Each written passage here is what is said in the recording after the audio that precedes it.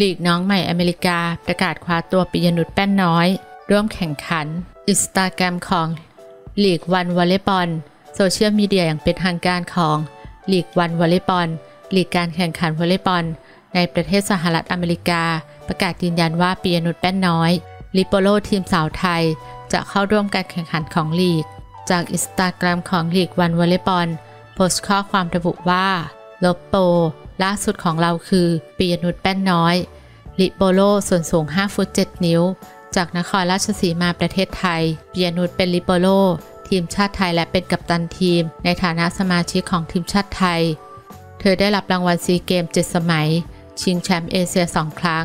ซีพีลีก 3 ครั้ง และ AVC ครับ ด้วยทีมงานมืออาชีพของเธอ ทั้งในประเทศไทย คาซัคสถาน และอาเซอร์ไบจาน เธอคว้าแชมป์ในศึกสโมสรเอเชียสีสมัย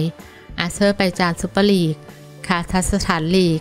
คาซัคสถานคัพ และคาซัคสถานซูเปอร์คัพ ยินดีต้อนรับปิยะนุชขอบคุณแหล่งที่มาข่าวจากข่าวสดค่ะ